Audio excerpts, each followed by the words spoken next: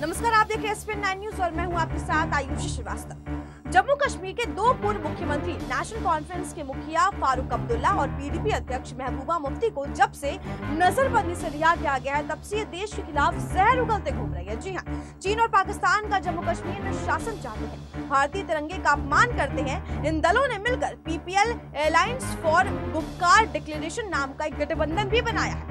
इससे गुप्कार गैंग के नाम से गुप्कार जाने लगा है। इसमें सात दल शामिल है। इस गठबंधन का मकसद है जम्मू कश्मीर के पूर्ण और विशेष राज्य का दर्जा वापस दिलाना। वही बीजेपी नेता और केंद्रीय मंत्री स्मृति ईरानी ने भी गुप्कार गैंग पर हमला करते हुए कहा कि ये गैंग सत्ता का भूखा है और केंद्र शासित प्रदेश के लोगों को गुमराह करने का काम कर रहा। स्मृति ईरानी ने कहा कि पैंथर्स पार्टी गुप्कार गैंग की बी टीम पैंथर्स पार्टी ने गुप्कार गैंग के साथ अपनी साठगांठ का कर ली है। यही कारण है कि पैंथर पार्टी के सीनियर लीडर भी गुप्तकार गैंग के एजेंडे को आगे बढ़ाने का काम कर रहे हैं, मगर वो इसमें भी सफल नहीं होंगे। अब गुप्तकार गैंग के विरोध में नवजोत सिंह सिद्धू भी उतर आए हैं। जी हाँ आपको बता दें कि नवजोत सिंह सिद्धू ने गुप्कार गैंग की आलोचना करते हुए कहा कि अगर कांग्रेस गुप्कार गैंग के समर्थन में आती है तो मैं कांग्रेस छोड़ दूँगा। नवजोत सिंह सिद्धू ने कहा कि कांग्रेस गुप्कार गैंग का सर्वनाश होना चाहिए, ये देश को बांटने का काम करता है। अब नवजोत सिंह सिद्धू सच में गुप्कार गैंग का सफाया चाहते हैं या फिर मोदी को इम्प्रेस करने की कोशिश की जा रही है, ये एक बड़ा सवाल है। आपको बता दें कि इससे पहले केंद्रीय कपड़ा और महिला बाल विकास मंत्री स्मृति ईरानी ने जिला विकास परिषद चुनाव प्रचार की एक रैली को संबोधित किया था।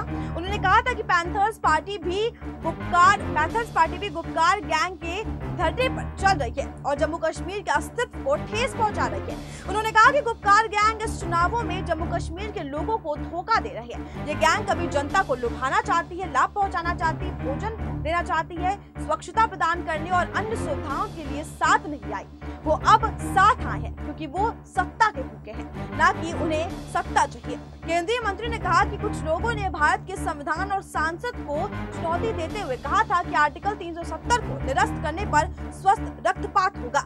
स्मृति ने कहा कि उन्हें शायद उन लोगों की सशक्ति और ताकत का एहसास नहीं है जो लंबे अरसे तक अखंड भारत को देखने का सपना सजो रहे थे। उन्होंने कहा कि प्रधानमंत्री नरेंद्र मोदी ने लोगों के आशीर्वाद के साथ आर्टिकल 370 को निरस्त किया है।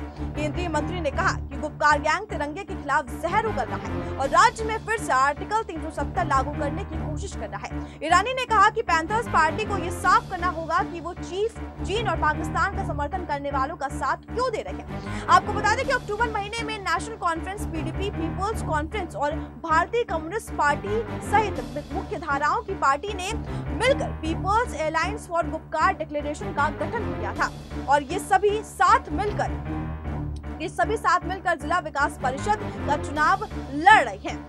इस खबर पर आपकी क्या राय है, हमें कमेंट बॉक्स में ज़रूर बताएँ। अगर आपको ये खबर पसंद आई हो तो इसे लाइक शेयर और सब्सक्राइब करना ना भूलें।